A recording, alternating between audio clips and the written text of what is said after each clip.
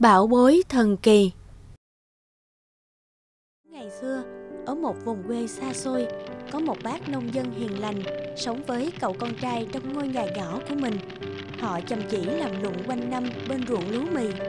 Rồi một ngày, bác nông dân quyết định tặng cho cậu con trai một món quà nho nhỏ.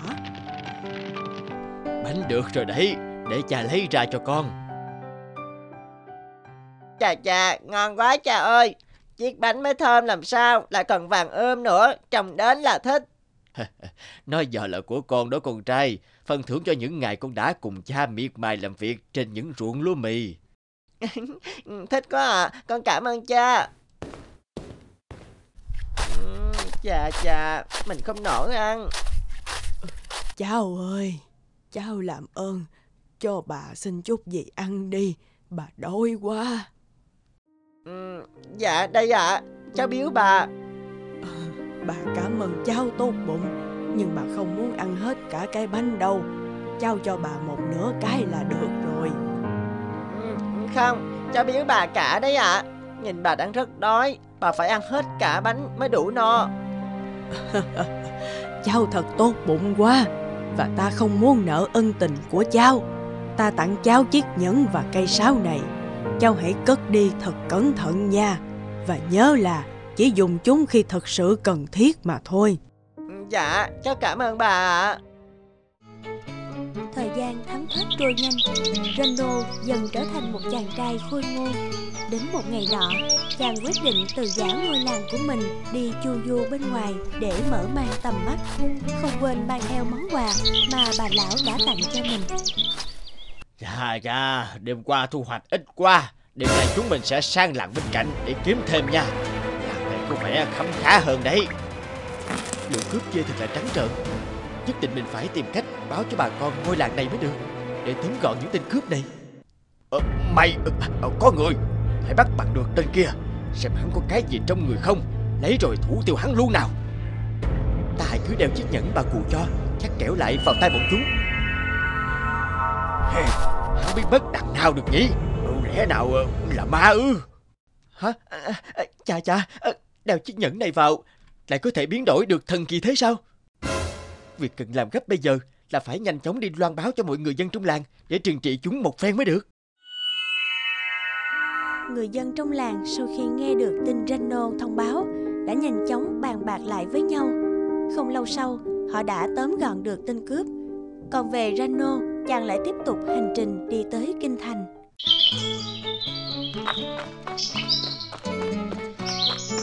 đường dài, Rano đặt chân đến một khu vườn với nhiều kỳ hoa dị thảo. Cũng tại đây, chàng vô tình gặp một cô gái xinh đẹp đang ngắm hoa. Wow, một người con gái tuyệt sắc. Từ trước tới giờ ta chưa từng gặp ai xinh đẹp như vậy. Dùng nhan của nàng làm ta sao xuyến ngay từ cái nhìn đầu tiên. Ta thiết nghĩ những bông hoa rực rỡ nhất trong khu vườn này cũng phải cúi đầu tuổi hổ trước nhan sắc của nàng. Xin hỏi nàng là ai và từ đâu tới đây vậy? Thiếp là công chúa trong cung. Hôm nay nhân ngày đẹp trời, ra đây ngắm cảnh thôi. Trái tim ta đã thuộc về nàng ngay từ giây phút đầu tiên. Công chúa, nhất định kẻ si tình này phải cưới nàng làm vợ. Lấy con gái ta ư? Một kẻ nghèo hàng như ngươi thật to gan. Bay đâu? Chém đầu hắn cho ta. Tội nghiệp chàng trai đáng thương quá. Thật là không biết lượng sức mình. Dạ thưa đức vua anh Minh, nếu yêu công chúa là một cái tội thì đúng là thần muôn lần đáng chết. Bởi thần yêu công chúa hơn cả sinh mạng của mình. Xin ngài ban cho thần một cơ hội được chứng tỏ tấm chân tình của mình. Để cưới được con gái ta thì tấm chân tình thôi chưa đủ. Ngươi phải chứng tỏ được tài năng vượt trội của mình. Xin người đưa ra thử thách ạ. Được, hãy nghe kỹ thử thách thật sự của ngươi. Hãy dẫn theo 12 con thỏ trắng, 12 con thỏ đen đến bên kia núi. Khi nào mặt trời dần lặn, nhà ngươi phải dẫn được bọn chúng ngoan ngoãn trở về đây cho ta.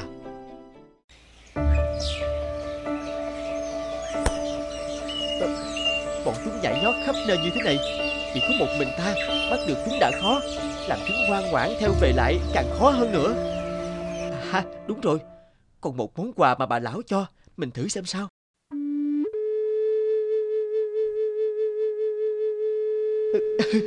Thật là một cây sáo thần kỳ.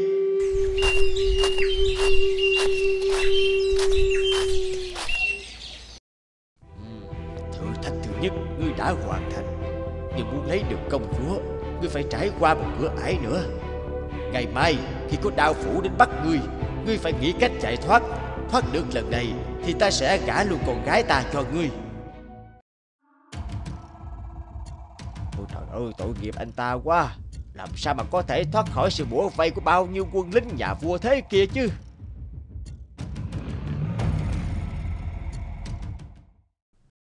Biến thành khổng lồ à, à, Trời ơi người khổng lồ. Wow. Thưa đức vua Thần đã vượt qua hai thử thách của người. Vậy bây giờ thần đã có thể lấy công chúa được rồi chứ? Rano! Hoàng hậu Rano! Rano! Rano Rano Hôn lễ linh đình của Rano và công chúa diễn ra trong sự chứng kiến của đông đảo quần thần và cả người cha nơi quê nhà của chàng. Sau này, khi nhà vua qua đời, Rano đã kế vị ngai vàng trị vương quốc ấm no, hạnh phúc. Bật lửa thần Đã lâu lắm rồi mới được trở về thành phố quê hương Kể từ ngày ta ra đi chiến đấu cho vương quốc Cũng đã mấy năm rồi Ồ, chào anh Linh, anh có thể giúp ta được một việc không? Ta sẽ trả cho anh rất nhiều tiền. Dạ bà cứ nói đi Việc gì giúp được con sẽ giúp bà Không dám lấy tiền công đâu ạ không không, đó là chút tâm lòng của ta. Anh cứ việc nhận, còn à, công việc ta nhờ thì rất đơn giản. Anh có nòm thấy cái cây to này hay không? Nó rỗng ở giữa đấy, nhưng phải leo lên tận ngọn cây mới thấy có lỗ mà chui vào tụt đến tận đây. Mà ta thì đã già cả, không còn làm nổi những việc ấy nữa. Ờ vâng rồi sao nữa ạ Khi anh leo xuống dưới, anh sẽ thấy một con đường rộng, sáng trưng, thấp những hơn 100 ngọn đèn. Anh phải đi qua ba gian phòng, có ba con chó dữ. Chỉ cần phủ lên đầu những con chó tấm vải này, anh có thể lấy bao nhiêu tiền tùy thích. Căn phòng đầu chứa xi linh, căn phòng 2 chứa bạc và căn phòng 3 chứa vàng. Rời khỏi căn phòng, nhớ lấy cho ta chiếc bật lửa. Còn tiền thì anh cứ giữ lấy mà dùng. Phải rồi còn cái bật lửa Mà bà đã nhờ lấy anh đã lấy được nhiều tiền vàng rồi chứ. Còn chiếc bật lửa của ta đâu? Ờ bật lửa thì đây rồi Nhưng bà định làm gì với nó ạ Không việc gì đến anh. Anh đã lấy được tiền rồi thì trả ta cái bật lửa ngay. Không nói ngay cho ta biết Bà định làm gì với nó đi Nếu không ta sẽ không đưa cho bà đâu Đưa cho ta ngay, trước khi quá muộn. Không Nhỡ bà dùng nó vào việc xấu thì sao Ê, nếu chiếc bật lửa đó không phải là vật tốt lành gì đâu, người đừng có mà giữ nó.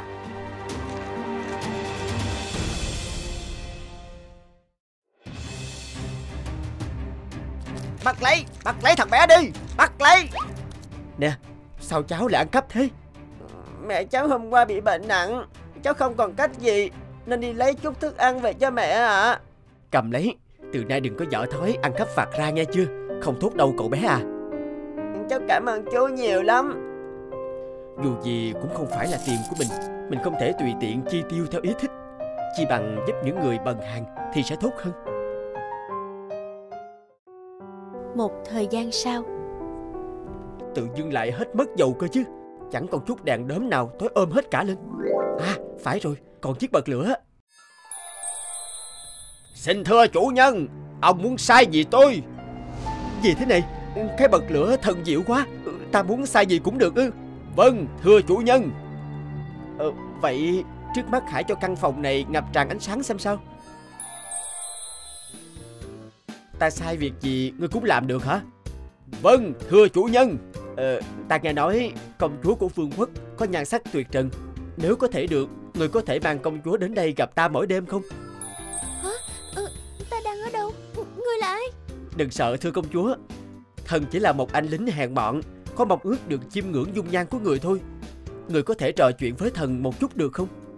Thần biết rất nhiều câu chuyện thú vị Có thể hậu chuyện người ạ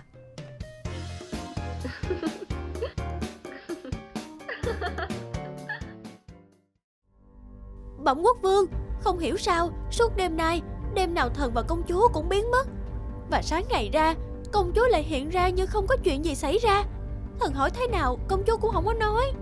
Có kẻ nào có âm mưu bắt cóc công chúa về đêm ư? Phải tìm ngay kẻ đó ra cho ta. Thiếp có kế này. Thiếp sẽ lấy một ít bột mịn Bỏ vào chiếc túi thơm bên ngoài của công chúa. Sau đó ta sẽ chọc một lỗ thủng. Công chúa đi đến đâu Bột sẽ rơi ra đến đó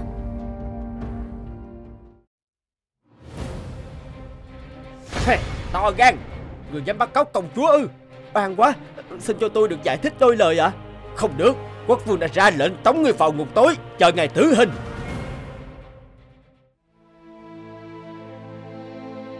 Chào chú, chú còn nhớ cháu không? Cậu bé hồi xưa được chú cho tiền đấy ạ. Cháu nghe tin chú gặp nạn nên đã tìm cách trèo vào đây. Thật ư Cháu có thể giúp ta một việc được không Tất nhiên rồi ạ, chú nói đi. Ở dưới gầm giường trong tay nải của chú có một cái bật lửa. Cháu hãy mau mang đến Và nhờ người mang vào cho chú nha. Được ạ, chú chờ cháu.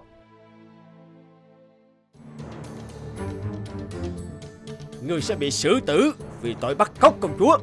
Cầu xin nhà vua Cho thần được hút một tẩu thuốc Trước khi bị hành hình ạ. Được ta đồng ý. Xin chủ nhân sai khiến. Hãy giúp ta thoát khỏi đây Xin phụ vương anh ấy cũng chưa từng làm tổn hại con. Con thực sự đem lòng yêu mến anh ấy. Xin người hãy lắng nghe câu chuyện của anh ấy kể lại đi ạ. Anh lính bèn kể hết câu chuyện cho nhà vua Và mọi người nghe về chiếc bật lửa thần và mụ phù thủy. Xin quốc vương hãy giúp anh ấy. Anh ấy là người tốt. Anh ấy hãy giúp đỡ người nghèo. Đúng rồi Anh ấy là một người tốt bụng. Anh ta là một người tốt bụng Không hề tham lam của cải của người khác Hãy thả anh ta ra Theo nguyện vọng của dân chúng Và ta sẽ gả con gái yêu quý của ta cho anh lính Vài tháng sau, tiệc cưới giữa anh lính tốt bụng và cô công chúa xinh đẹp được diễn ra trong vòng 8 ngày. Tất nhiên là chú chó cũng có chỗ trên bàn tiệc và luôn vẫy đuôi chào mừng mọi người đến tham dự hôn lễ. Chàng lười Ngày xưa, ở một ngôi làng nọ nằm giữa một thảo nguyên bao la, có một chàng trai tên là Hê In, vô cùng lười biếng. Hàng ngày, chàng chỉ có mỗi việc là đi chăn dê.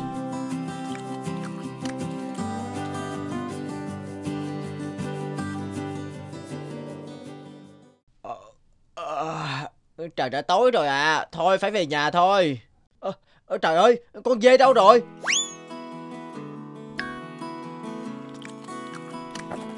Ê, thì ra là mày ở đây.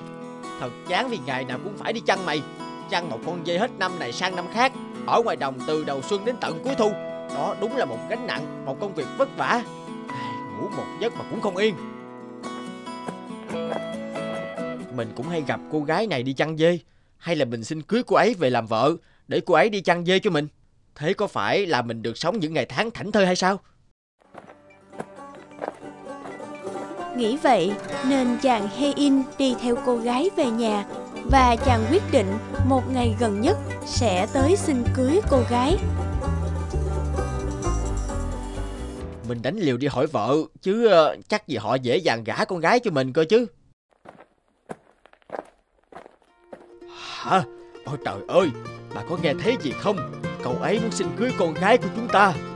Ờ, cậu ờ, muốn xin cưới con gái của tôi hả? À, dạ, nếu hai bác có yêu cầu gì thì cứ nói cho cháu biết ạ. Cháu sẽ đáp ứng yêu cầu của hai bác. à, không đâu, chúng tôi chả có yêu cầu gì cả. Chúng tôi đồng ý gả con bé cho cậu. Cũng chả cần phải tổ chức gì đâu. Cậu thấy hôm nào đẹp trời thì cứ mang con bé về thôi. Thật là may mắn quá. Cháu cảm ơn hai bác. À, à, không, à, con cảm ơn bố mẹ vợ ạ. À. Ngoan lắm con rể của ta.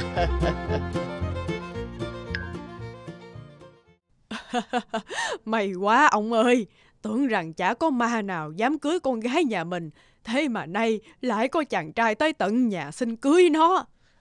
Ừ, thật là mừng hết biết. Cậu ấy không biết là con gái chúng ta lười chảy thay ra. Trên đời này chắc không có đứa con gái nào mà lười như nó ấy bà. ạ.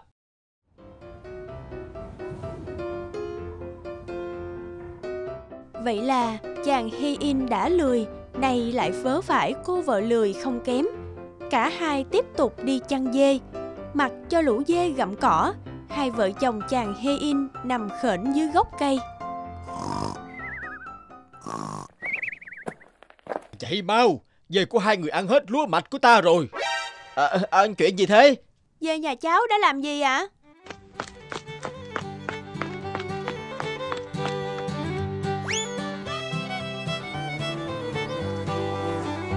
Anh Hê In ơi. Tại sao ta lại tự làm khổ mình một cách vô cớ Làm cho mòn mỏi tuổi xuân của chúng ta như thế nhỉ? À, Em tính như thế này. Ta đổi quách cho bác hàng xóm đôi dê. Sáng nào cũng be be ôm sòm Làm mất cả giấc ngủ ngon lúc sớm. Lấy tổ ong của bác ta đi anh. À, Mình sẽ nuôi ong hả? Ta treo tổ ong ở sau nhà. Nơi có nhiều nắng Rồi từ đó ta chẳng còn phải bận tâm lo lắng cái gì cả Nuôi ong đâu có cần trông nom Mà cũng chẳng dẫn nó ra đồng. Ong bay đi khắp nơi Rồi tự tìm lấy đường về. Ong cho ta mật ngon nè Mà không hề bắt ta nuôi dưỡng khó nhọc làm gì. Em nói có lý Chúng ta có thể thực hiện ngay ý định của em Mà không cần chần chừ gì nữa. Vì mật ong ăn ngon và bổ hơn sữa dê Để à, cũng được lâu hơn nữa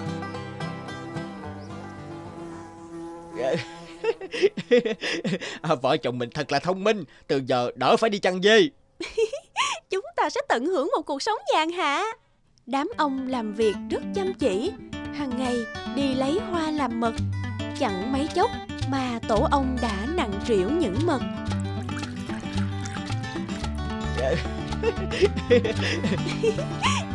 Ừ, đặt lọ ở đây cho tiện. Vợ chồng mình chỉ việc nằm có thể bới được lọ mật và ăn Ừ, sao em lại đặt chiếc gậy ở đó làm gì? Em phòng kẻ trộm vào nhà mình lấy mật. Nếu nó mà vào Thì em chỉ cần với chiếc gậy này Mà quật nó thôi. Đỡ phải vậy. Vợ chồng mình tuy lười Nhưng thật là thông minh.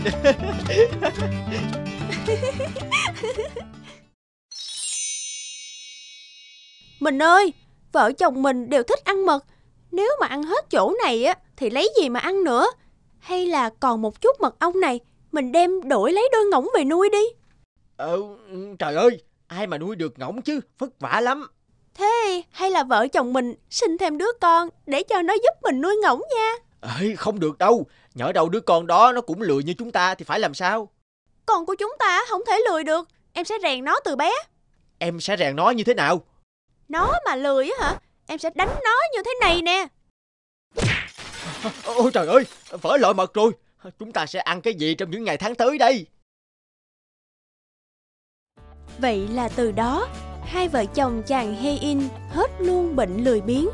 Họ phải đi chăn dê thuê cho những người hàng xóm Và không được lơ là một phút nào. Nếu không, họ sẽ mất luôn công việc đi chăn dê Và sẽ chẳng còn gì để ăn nữa. Cậu bé mồ côi.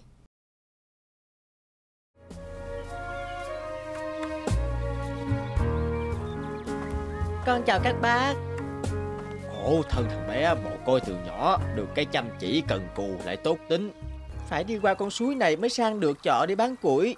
Hôm nay mình lấy nhiều củi hơn mọi ngày Phải thật cẩn thận không thì ướt củi mất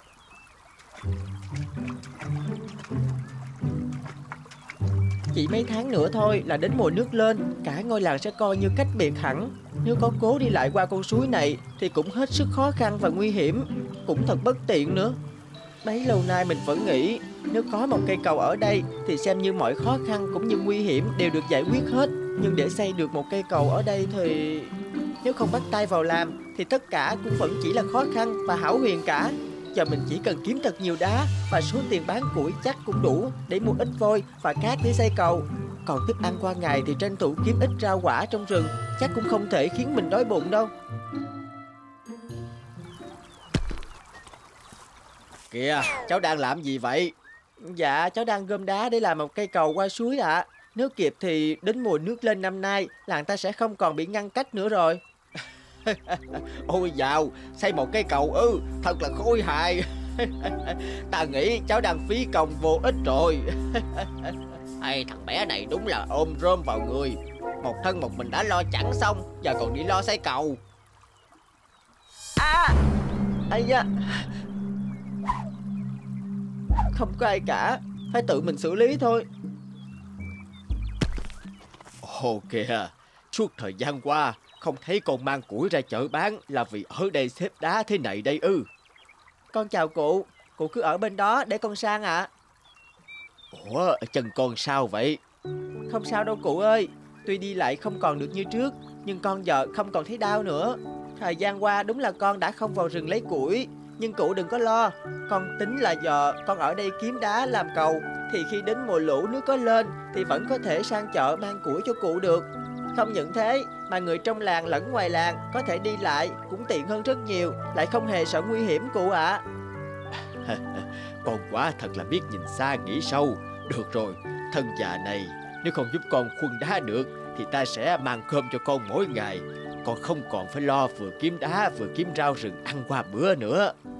À, thêm chúng tôi giúp sức nữa Chắc chắn dân làng sẽ sớm có cây cầu trước mùa lũ năm nay thôi À ờ, đúng vậy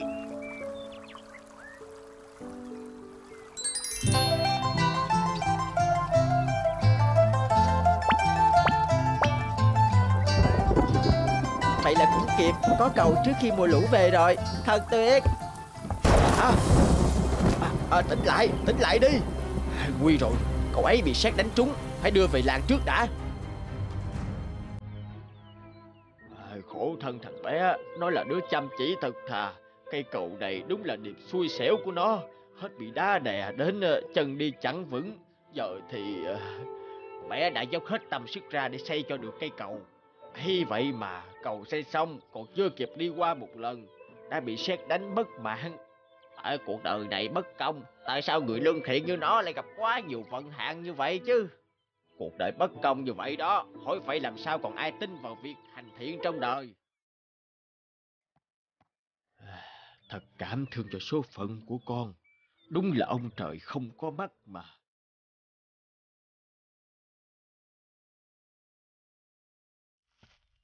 Ờ may quá cụ đây rồi Hả? Cậu là ai? Có chuyện gì vậy? à, Trưởng làng bao năm hiếm muộn nay sinh được cậu con trai Nhưng à, không hiểu sao từ khi chào đời Ngày đêm không ngừng khóc Trưởng làng đã mời rất nhiều danh y Nhưng ai cũng đều nói cậu bé không hề có bệnh gì Mới đây trưởng làng phát hiện trên người cậu bé có vết bớt Hình như là chữ viết uh... à, Nghe nói uh, cụ có am hiểu về pháp ấn cổ truyền Nên mới tìm cụ đến xem Xem uh, có cách gì hay không À thưa cụ uh, đến rồi đây ạ Thà không hành thiện. Nhà tôi đã tắm rửa rất kỹ và tìm mọi cách, nhưng vết bớt đó không hề mờ đi. Đây là dòng chữ ta đã khắc lên cây cầu mà cậu bé mồ côi làng trong làm mà.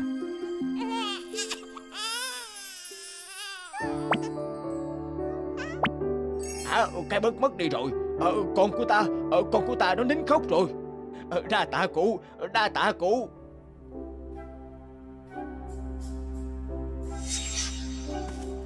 Chuyện cậu bé mồ côi chắc chắn là có uẩn khúc gì mà ta đã hồ đồ chăng? Ủa, dòng chữ đâu rồi? Con chào cụ À, Là con, ta tưởng con... ờ, Con vô cùng biết ơn ông vì khi còn sống ông đã yêu thương và luôn đối xử tốt với con. ờ, khi còn sống, con nói vậy nghĩa là... Con muốn kể cho ông một câu chuyện thế này. Có một chàng trai vì đã tạo nhiều nghiệp ác, nên khi qua đời, thiên đình đã luận tội phải trả nghiệp ác ấy trong ba đời. Đời thứ nhất sẽ không cha không mẹ, chịu cảnh mồ côi. Đời thứ hai chịu cảnh què cục, và đời thứ ba sẽ bị xét đánh chết. Thế nhưng khi sinh ra đời đầu, chịu cảnh mồ côi, cậu bé ấy đã luôn vì người mà làm điều thiện. Đến khi bị què chân vì đá đè lên, cậu ấy cũng không một lời oán than, mà vẫn dốc tâm làm điều ý nghĩa. Vì lý do đó, thiên định đã quyết định không bắt cậu ấy trả nghiệp trong ba đời nữa, mà cho trả hết trong một đời.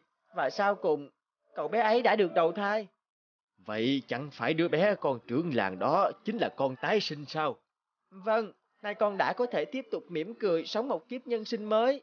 Nhưng vẫn còn một điều dai dứt trong lòng là người làng vì thấy những điều đã diễn ra ở kiếp trước của con mà hoài nghi việc hành thiện. Con chỉ có thể trở về lần này để nói với cụ những điều trăn trở đó. Việc còn lại có lẽ là sẽ tùy duyên.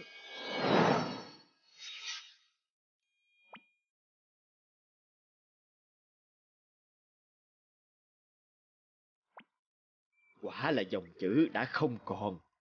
Quả đúng là điều mừng cho cậu bé xây cầu, nhưng cũng buồn cho con người chốn dân gian. Nhân sinh cuộc đời xoay vần qua bao nhiêu kiếp, thiện ác đều sẽ phải trả đủ. ấy vậy mà chỉ vì nhìn thấy những điều trước mắt mà đã vội hoài nghi vào sự sắp xếp ăn bài của thiên đình. Ta cũng thật hồ đồ khi đã từng hoài nghi điều đó. Hành thiện lúc nào cũng là điều cần thiết. Chim và rùa biển Chúng, em chào cô ạ. Cô chào tất cả các em. Bây giờ, cô sẽ phân công công việc cho ban cán sự để các em dẫn dắt lớp trong các hoạt động nha. Thưa cô, tại sao hàng năm nhà trường lại có thông lệ cho các lớp thả bóng bay ạ? Có nghi thức nào thay thế nữa không cô?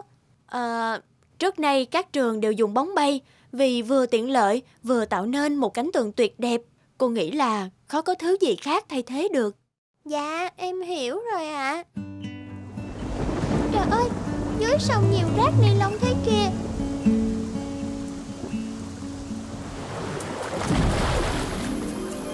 Ôi, cái gì lóe sáng thế kia? Ơ, lấy ra thế kia rất nguy hiểm, nhưng chắc bác sĩ cá trắm không còn cách nào nữa. Rùa biển ơi, tỉnh lại đi, anh cố gắng lên. Sợi ni lông nuốt phải, không thể tiêu được, làm tổn thương nặng cỗi. Tôi đang ở đâu thế này?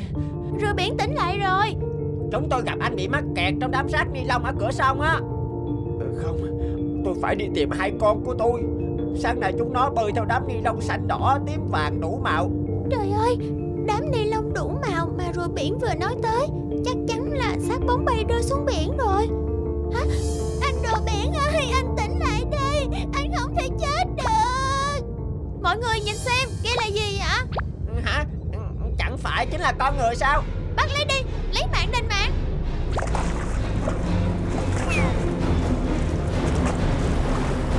Loài người phải đền tội. An à, con làm mẹ sợ quá. Cô bé liền bạn con nhìn thấy con bị ngất trên thành cầu.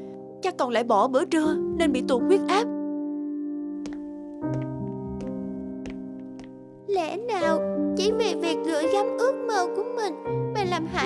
Sinh vật vô tội. Hai hôm sau. Sắp đến giờ lễ khai giảng diễn ra rồi Mà sao vẫn chưa thấy bạn An đến vậy? Ờ, bạn An xin phép cô đến muộn. Thưa cô và các bạn, ban giám hiệu vừa ra thông báo là tạm thời các lớp sẽ ngừng việc chuẩn bị bóng bay và trước tổng duyệt, thầy hiệu trưởng mời các thầy cô lên họp gấp cùng thầy ạ. Tôi rất bất ngờ khi nhận được một bức thư từ tân học sinh của trường chúng ta trong năm học này. Em Nguyễn Thu An, học sinh lớp 6A1 do cô Hà Khanh chủ nhiệm. Ờ, lẽ nào em ấy đã làm chuyện gì không đúng rồi hả thầy? Trái lại, em học trò này khiến tôi thấy ngưỡng mộ. Em ấy đã gửi bức thư này không chỉ cho riêng tôi mà tới rất nhiều thầy cô hiệu trưởng khác trong thành phố. Thả bóng bay lên trời Bay cao ước mơ của học sinh Giết chết ước mơ của những chú chim và rùa biển Em An có viết trong thư về tác hại của bóng bay và suy băng trên bóng. Chúng có thể khiến chim, rùa biển và nhiều động vật khác nuốt phải bị mắc kẹt đường ruột và dẫn đến bị chết. Em muốn trường mình ngừng thả bóng hoặc giảm số lượng bóng. Các thầy cô nghĩ sao, cô Hà Khanh? Ờ, dạ tôi... Đó là điều mà thế hệ trẻ hôm nay hơn chúng ta. Ngày trước khi còn là một cậu học trò, cũng đã có lúc tôi tự hỏi bóng bay thả lên bầu trời sẽ đến lúc nổ tung vỡ vụn ra rồi chúng sẽ rơi đến đâu. Nhưng rồi tôi đã không đi tìm câu trả lời vì cho rằng việc đó không liên quan lắm đến cuộc sống của mình. Các thầy cô hẳn cũng đã như vậy. Dạ thưa anh, đúng là chúng em đã từng nghĩ đến chuyện đó rồi ạ. Vậy đó, dám nghĩ nhưng không dám nghĩ sâu, dám làm một điều gì đó. Thông điệp của em An rất đáng suy nghĩ và đáng được lan tỏa. Em là Nguyễn Thu An Năm nay em lên lớp 6 Em biết là hàng năm khi bắt đầu khai giảng Nhà trường thường cho các lớp thả bóng bay lên trời. Mẹ ơi, thầy đang đọc thư của con kìa mừng con đã làm được điều mà mình muốn Nhờ có mẹ mà con mới làm được đó Mẹ đã đưa con đến bưu điện Rồi đến tận các trường học để gửi thư Ni lông đúng là gây tác hại lớn đến động vật và môi trường. Chúng mình ai cũng từng biết, từng nghe, nhưng chưa có ai dám nghĩ, dám nói ra như bạn An ha. Em rất vui khi thầy và các bạn đã đón nhận suy nghĩ và mong muốn của em. Còn bây giờ, trở về với việc của lễ khai giảng hôm nay, thầy đang nghĩ đến giải pháp thay thế bóng bay. Thả bóng khinh khí cầu loại to này, các em sẽ càng gửi gắm được những ước mơ to lớn, vĩ đại hơn, đúng chứ? Khinh khí cầu lại có thể tái sử dụng, vừa có không khí lại bảo vệ môi trường. Tuyệt lắm thầy ạ. Vậy là thông điệp chấn động Thả bóng bay lên trời Bay cao ước mơ của các học sinh Giết ước mơ của bao chú chim và rùa biển Đã thực sự lan tỏa không chỉ ở thành phố của cô học trò nhỏ Mà trong khắp cả nước Hãy like, comment, subscribe kênh để xem thêm những video mới nhất nhé!